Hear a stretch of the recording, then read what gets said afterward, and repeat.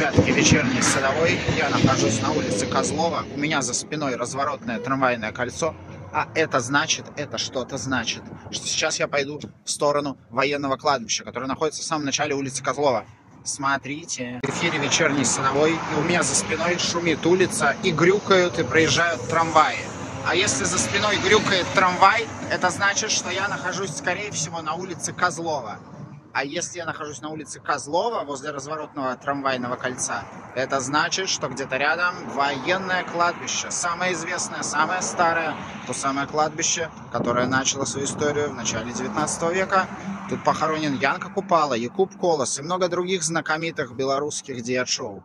Я у входа, он открыт, куча мемориальных табличек. Давайте зайдем и посмотрим. На военном кладбище также находится церковь Александра Невского. Она внутри кладбища, вон она у меня за спиной. Дойдем до нее, поснимаем ее, и если я кого-то знакомитого найду, тоже сниму его могилку. Все будет быстро, оперативно. Февраль месяц, снега нет, погода позволяет. Очень солнечно сегодня и не сильно морозно. Погнали. Я от начала вот этих ворот на улице Козлова, как шел, буду идти вперед к Александро Невскому собору, и снимать вам одну из сторон. Если кого-то увидите, вот, например, Иван Пулихов, а в Минске же есть улица Пулихова, получается, что казнен в ночь 1906 года. Вот видите, Пулихов, какой-то известный революционер. Давайте пойдем дальше. Круглова, Соловьева, Вольфсон. Вот это обычно бывает так выглядят могилы еврейские, когда такое срубленное деревце и веточки. Но здесь тоже 39 год. Памятник явно в еврейском стиле, при этом со звездочкой. Вы здесь? Учитесь? Um, Tourist? uh, Chinese. А, Денис? Форвок? Окей.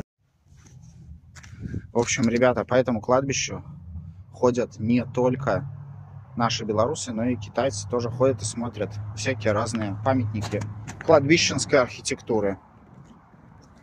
На этой стороне покажу вам вот такую еще бетонную советскую урну. Во всяких фильмах про Сталина или про пионерлагерь такие урны есть. Народный артист БССР. Такая типа барельеф егоный и арфа из этого барельефа торчит. Арсенко. Понятия не имею. Женя Каменко, Молочка. Видимо, какие-то коммунисты, потому что годы жизни какие-то 40, 41, и то до начала войны даже. Андрейчики. Фамилии все разные. Нету такого, чтобы лежала там целая семья, например, Сухотские. Такой геометрический памятник, направленный в разные стороны. Вот тут, кстати, семейный. Раз, два, три, 4-5 человек тут лежит. Воднев, 55-й. Какие-то врачи. Видите? Змейка медицинская обвивает чашу. Но он в погонах. Может быть, военные врачи. Вот какие-то совсем старые могилки. Интересное обрамление. Растет трава. И написано Вася, спи спокойно. Любимый сыночек. Ну, горячо, наверное, детская могилка. 49 год. Вот что-то, видимо, обновленное. То есть могила 49 -го года, к ней подхоронили 2005 и, видимо, в том же году или чуть позже обновили.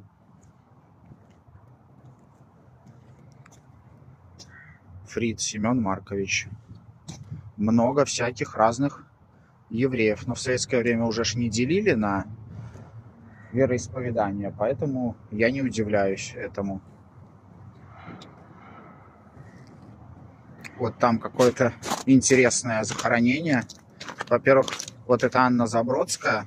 Какой, посмотрите, красивый шрифт сделали в 1938 году. И такую терновую веточку наверху. Солдатская могила в бетоне. Просто такая звездочка и буквы все в мху. Симпатично выглядит. Люблю такое. Так. Вот тут у нас что-то. Какие-то барельефы. Круглянский. Не знаю таких но бетон, и на нем такой бронзовый барельеф и даты жизни достойно. Вот еще одна надгробные памятники с красивым шрифтом Науменко. Получается, 24 год, уже советская власть, но сделано с такими, во-первых, крестиками, во-вторых, таким вот царским шрифтом. Красота. Здесь вот могилки попроще. Просто с такими крестиками. И на крестиках такие углишки.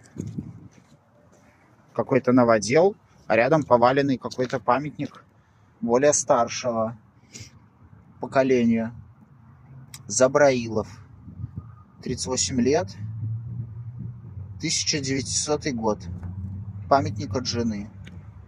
Ага. Красиво. Не знаю, почему он вот так вот лежит.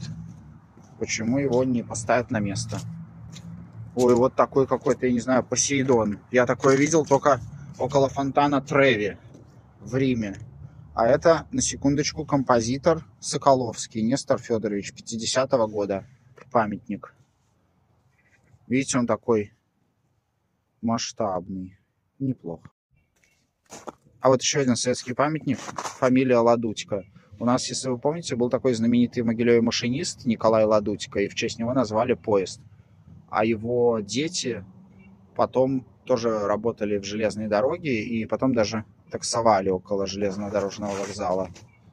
То ли сын, то ли внук уже Ладутько, того Николая. Ну, это, скорее всего, просто однофамилец, потому что, во-первых, это Минск, а не Могилев, а во-вторых, фамилия не такая уж и редкая.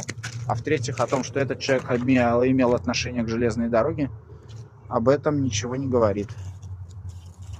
А вот памятник 42 -го года, скромный. Тогда, видимо, в военное время все ресурсы были ограничены, поэтому таких пышных памятников не делали. Вот мы уже приближаемся к церкви Александра Невской.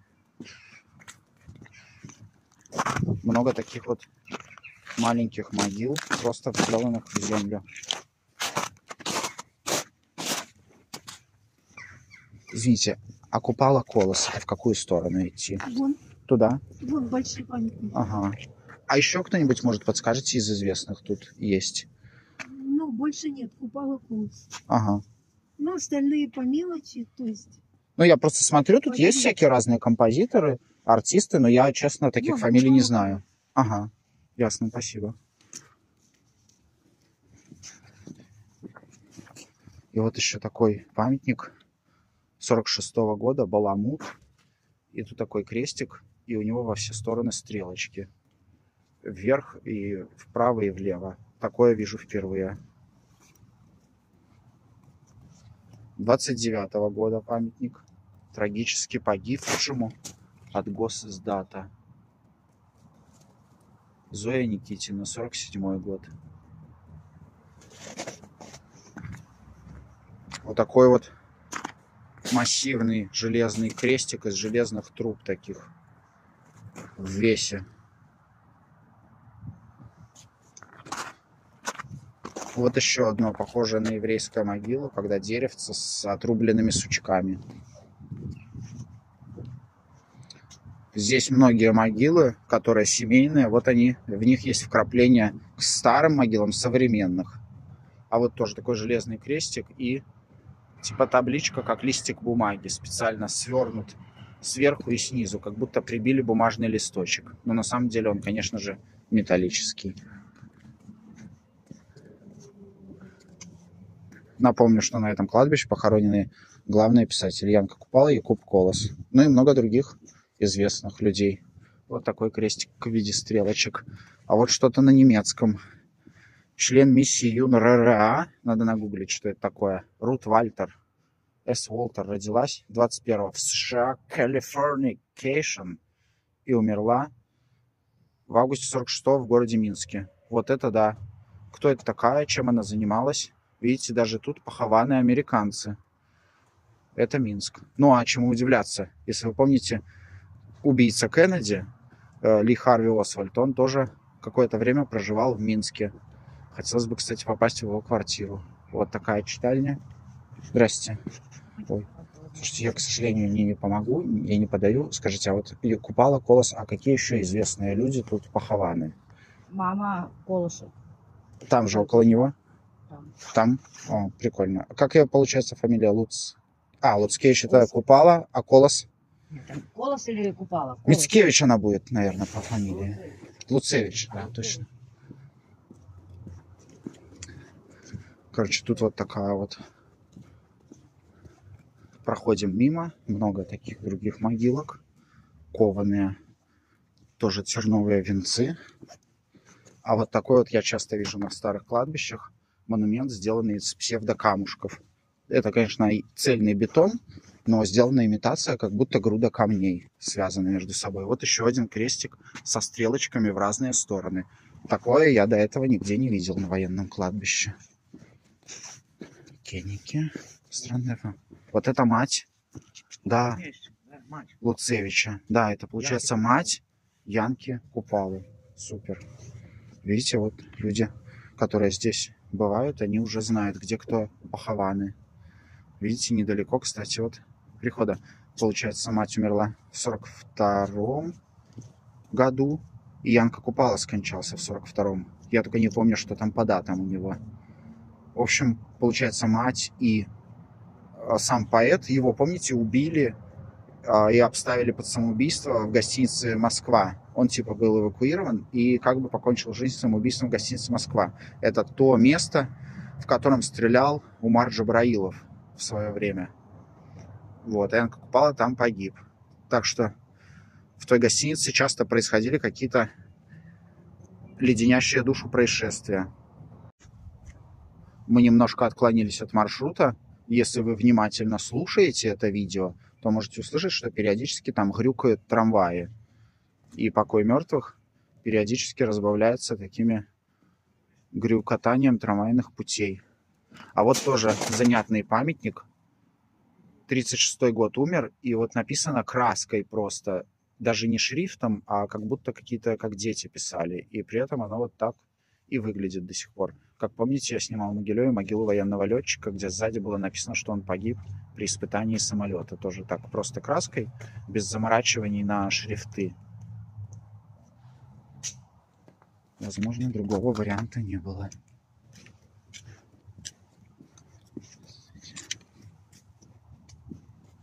Тут уже конец кладбища. Ну что, пойдемте тогда к этим Янке Купалу и Якубу Колосу посмотрим, они выглядят, могилы их. Ну, мне, по-моему, женщина показала, что туда. Там Ну, такие два батюшка. массивных. Это батюшка. Это, получается, действующая церковь, и тут служат. Но на этом же уже не хоронят, да, кладбище? Вот, спросите у батюшки. Батюшка, Здрасте. По поводу... Я просто пришел посмотреть могилки и хотел вот Купала Колосу иду. Меня вот просто отвели к матери Янки Купалы.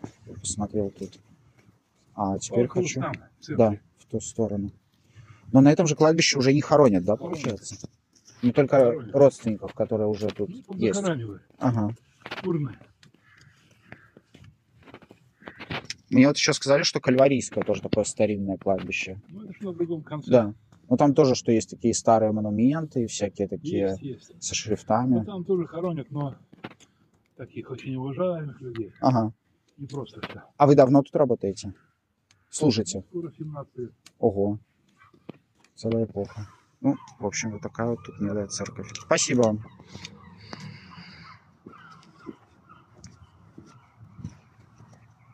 Ребята, мы движемся дальше.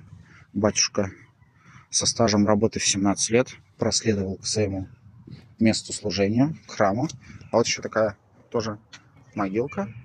И тут такой маленький, тоже таким нелепым шрифтом написано. Все могилы очень оригинальные. Вот и стоят и цер, и кресты около церкви, и просто такие квадратики, кубики. И поновее, и постарее, и просто такие советские. В общем, на любой вкус и цвет. Очень большое разнообразие стилей. Хорошо еще, кстати, что нету оградок у большинства. Так бы это кладбище казалось бы слишком захламленным. Вот не знаю, зачем здесь сделали ограду. Как будто кто-то придет и будет вытаптывать. А вон еще такая... Снимаю вам церковь немножко. А потом проследуем туда. Внутрь.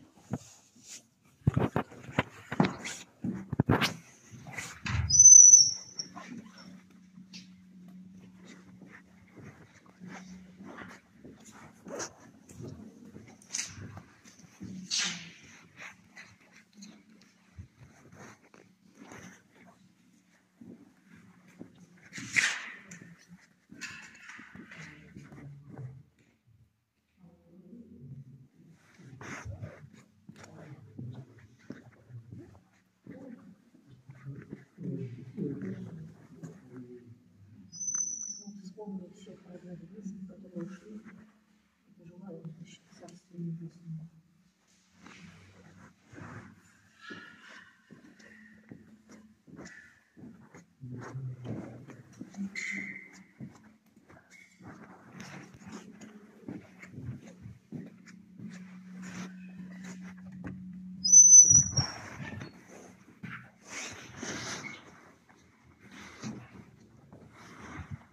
Вот тоже такие картины. Тут все разрисовано.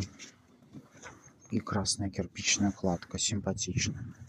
Ну что, давайте проследуем вон к той могиле. Она оригинальная. Смотрится как какой-то мусульманский минарет. Или как такая маковка купола церкви.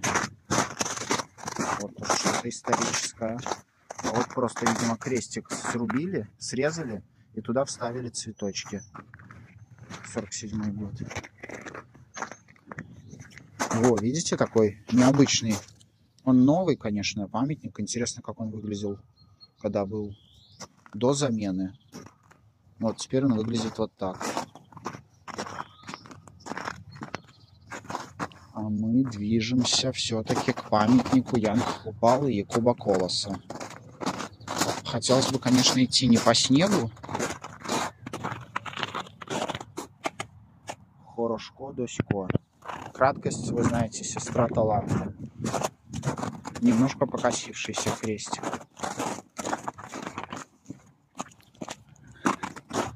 Тридцать четвертый год, Дрозд Роман Павлович.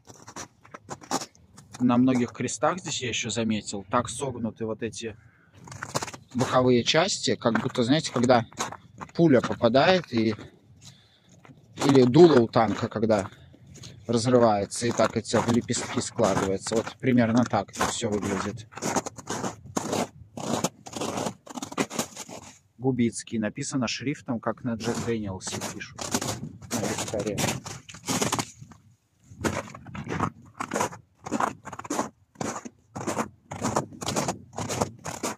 Степанова. Володина. Надежда. 44 год. Это кладбище называется военным. Очень много захоронений. Вот прям времен войны. 42, 43, 44 год сплошь и рядом.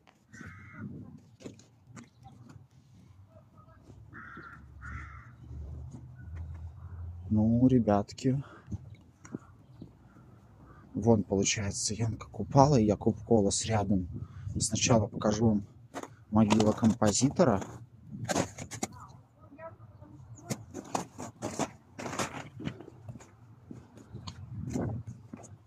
Получается могила Янки Купалы. Знаешь, что самое интересное? Ты вот кольцо.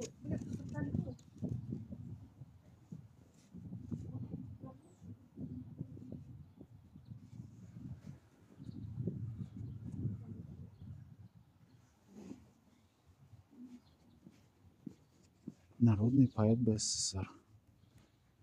Я, кстати, был в Левках, где Янка Купала доживал свои последние годы до того, как началась война и до того, как он эвакуировался в Москву. И вот в Левках там очень большая экспозиция. Я вам когда-нибудь съезжу, поснимаю.